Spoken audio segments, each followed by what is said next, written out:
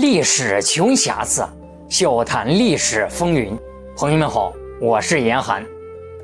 明朝啊，是我国倒数第二个封建王朝，也是我国历史上啊最后一个由汉人建立的封建王朝。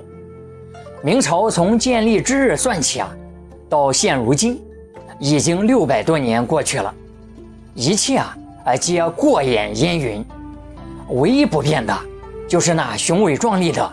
明城墙，大伙都知道，在明城墙建造时啊，水泥啊还不存在，啊少了砖石粘合剂啊，那明城墙为何还能六百年屹立不倒嘞？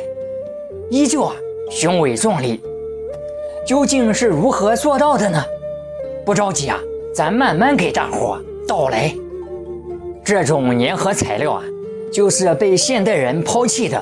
糯米砂浆，糯米砂浆早在一千五百年前就被建筑工人发明了，主要是将糯米啊、熟石灰、石灰岩混合在一起，制成浓度超高的浆糊。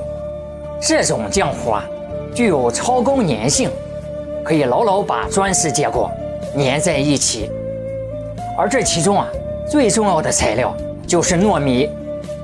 由于糯米是一种很珍贵的粮食作物，普通人连饭都吃不饱，更不可能把它作为建筑材料了。也只有帝王家才会用它作为建筑材料。明城墙正是用了这种粘合材料，才会经历六百年风雨飘摇啊，依旧屹立不倒，雄伟壮丽。不得不佩服古人的智慧呀，啊，老厉害了。而现如今啊，有了水泥、混凝土等多种先进的粘合材料，糯米啊也就恢复了本职工作，而再次单纯的啊作为粮食作物。